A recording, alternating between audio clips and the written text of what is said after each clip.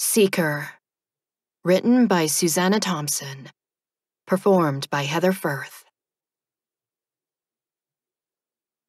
Chapter 40 God has healed Justin. That is the only explanation for his remarkably lucid condition. The doctors thought that he would have brain damage, but my brother is completely himself. Mom is laughing through tears of happiness as she tells me how the first words he spoke were, Where's my phone? He then panicked and asked her if he broke anything. She had to keep him from getting out of bed before the staff could examine him. When she pushed the button for the nurse, she also called me, thinking that I was with Dad. I immediately called him when I hung up with Mom to tell him that Justin was awake. What time is it? Justin had demanded in the meantime. When can I get out of here? And where's my phone? Did I drop it in the snow? The nurse had asked him if he knew his name, and he had impatiently answered that it was Justin. Albrecht, he replied when she quizzed him on his last name. After answering questions on what year it was and who our president is, he had remarked sarcastically that he thought he was in a hospital, not school, then he accusingly asked the nurse if she had hidden his phone so he couldn't look up any answers. Justin is scowling while Mom tells me this story. He had rolled his eyes during my emotional response to seeing him awake, apparently having no idea how bad his condition had been. Even his face has regained its healthy color. If it wasn't for the bandages around his head, I wouldn't be able to tell that he had been injured. I lost my phone, he complains. Somebody probably took it by now. We'll get you a new phone, Mom consoles him. The phone can be replaced, she adds, with a tearful look at him that says he can't. Justin's scowl deepens. I need my phone. I'll go buy you one tomorrow as soon as the store opens. Mom promises him. He is obviously not appeased by that assurance, so I reassure him that nobody else can use his phone if they don't know his password.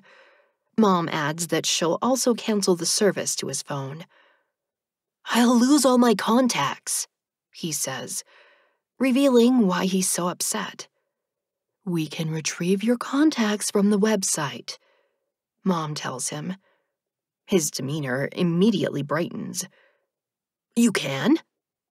I'm struck with a surreal realization that we're discussing cell phones with someone who was in a critical coma only a short time ago.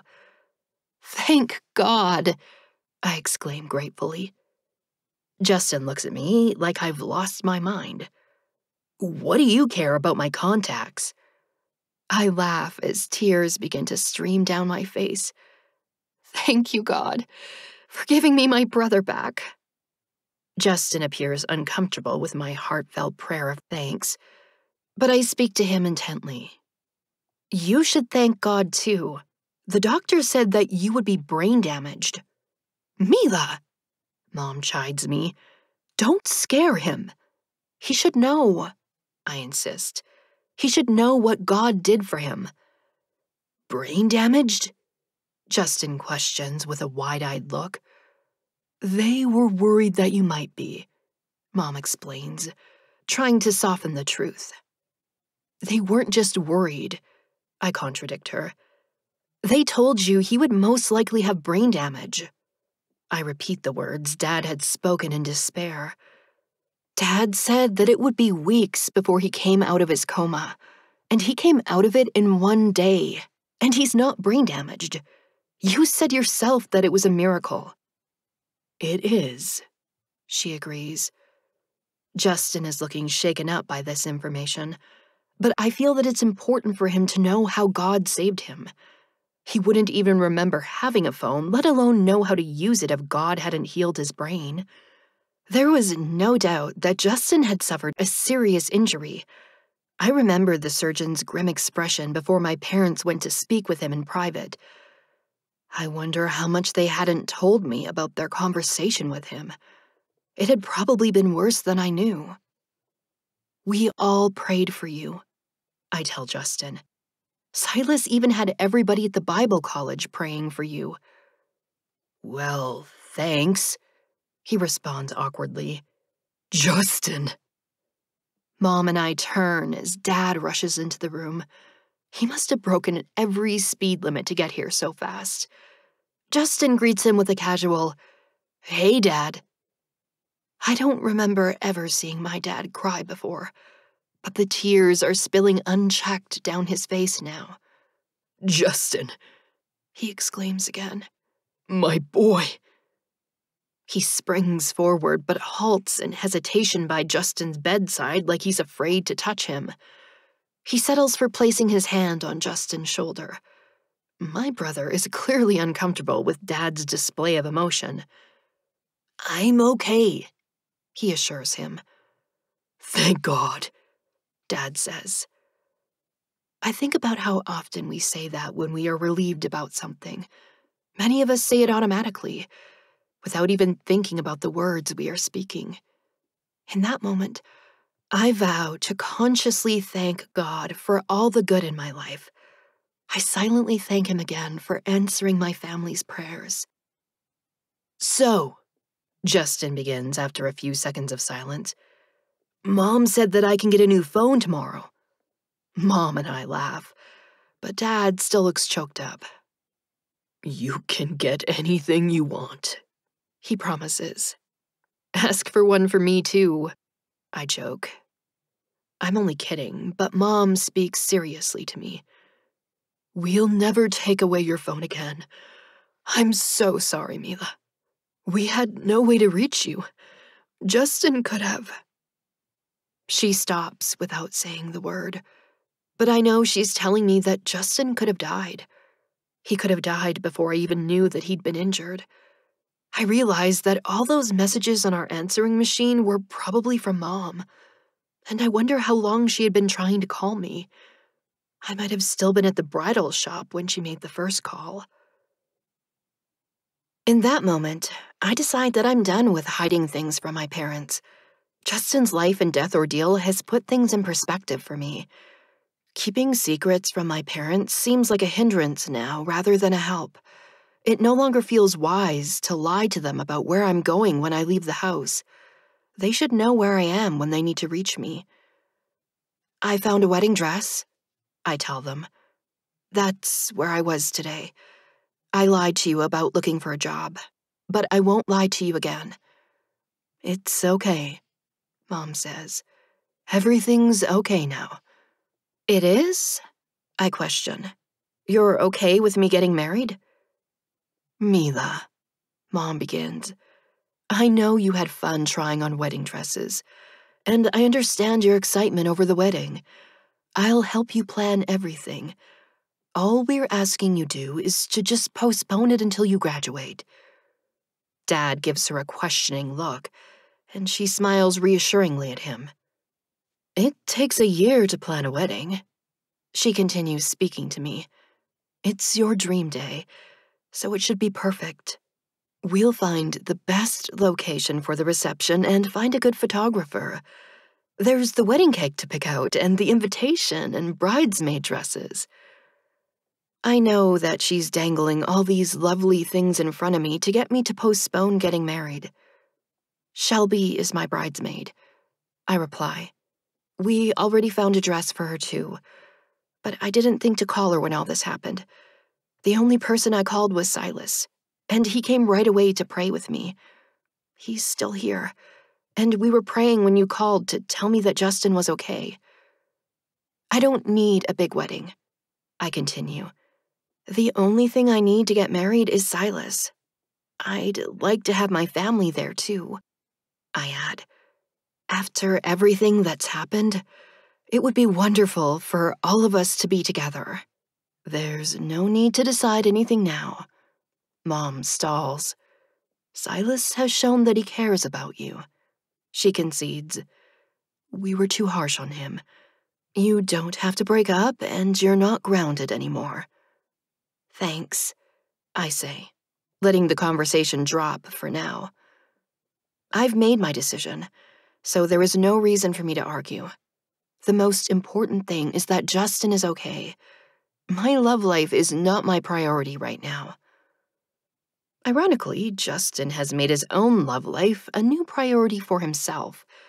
He tells me about it when mom and dad go to get him the Coke he requested. I'm thinking they both went so they could have their own private conversation. I met a girl, Justin confides after they leave the room. Her name is Nor. Isn't that a cool name? Is it a nickname for Nora? I inquire, earning a frown from Justin. It's Nor, he repeats, clearly liking that version of her name better. She is an awesome snowboarder, better than me he admits. Is that why you got hurt? I demand. Were you trying to impress her? No, he denies. I was just practicing some stuff I saw her do. Good thing she wasn't there to see me fall. You could have been killed doing stupid stunts. I admonish him. You have to be more careful.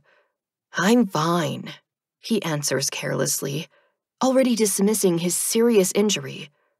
At least I still have her number. That's why you were so worried about your phone, I realize.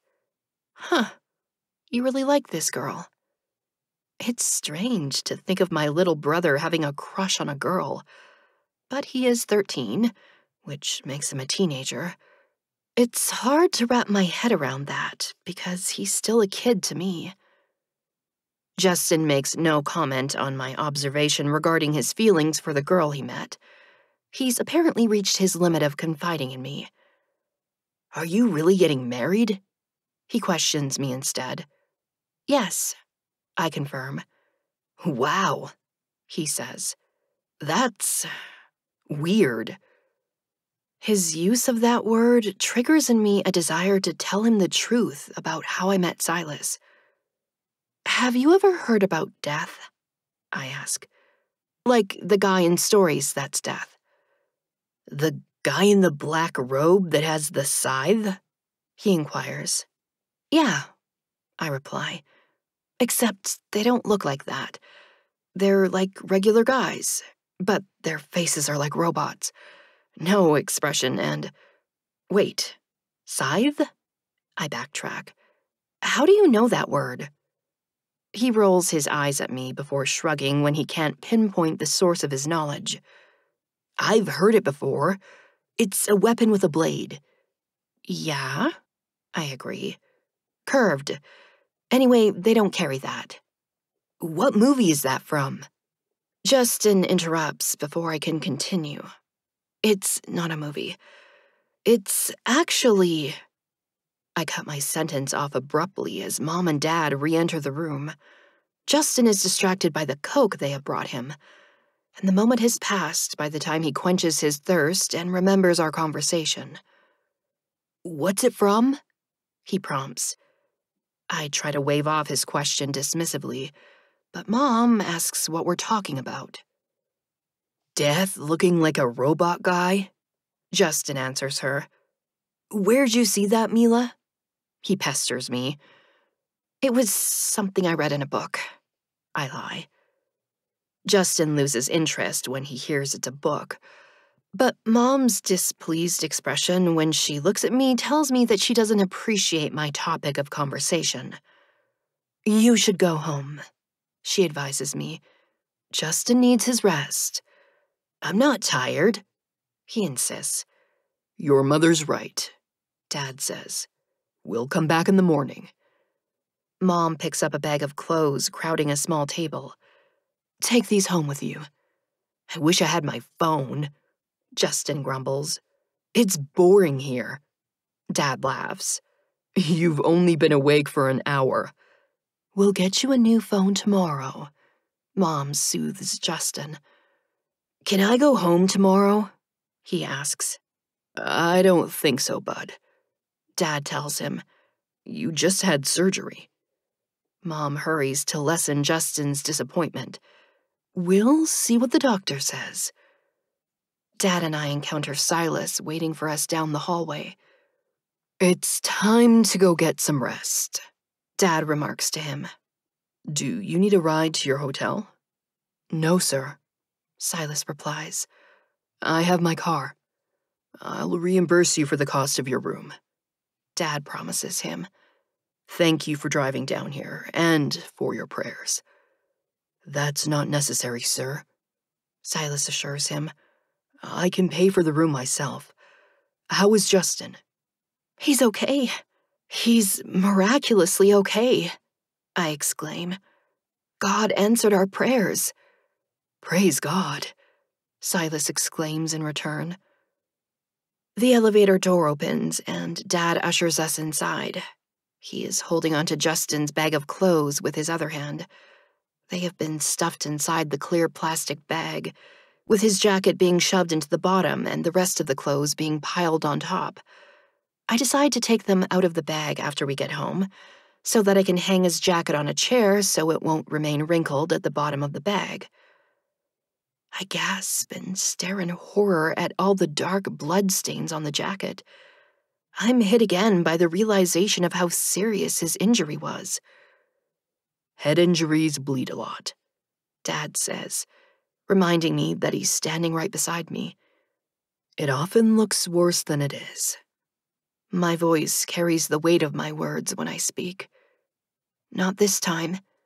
No, Dad agrees. It was bad. Really bad. They told us.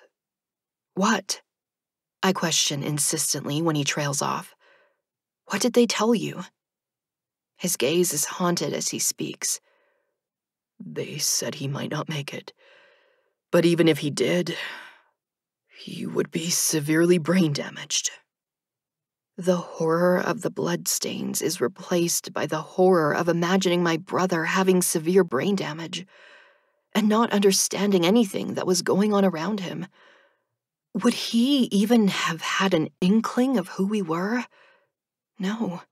He wouldn't have even known who he was, or even had the capacity to realize that he didn't know. He probably wouldn't have been able to form words either and he would never have been able to talk to us again. His personality, everything that made him who he was, would have been gone. I sink down to my knees, overwhelmed and profoundly grateful to God for what he has done for Justin. There is nothing more that I could ever ask of him than the miracle we have been granted.